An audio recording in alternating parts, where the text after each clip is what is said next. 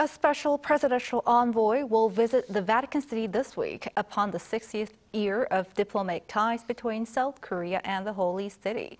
The top office said Wednesday that President Yoon Suk-yeol will send Kang Seung-kyoo, senior presidential secretary for civil society, to deliver his gratitude to the Vatican for being the first to dispatch a diplomatic envoy to Seoul and contributing to the United Nations recognition of the Korean government's legitimacy in 1948.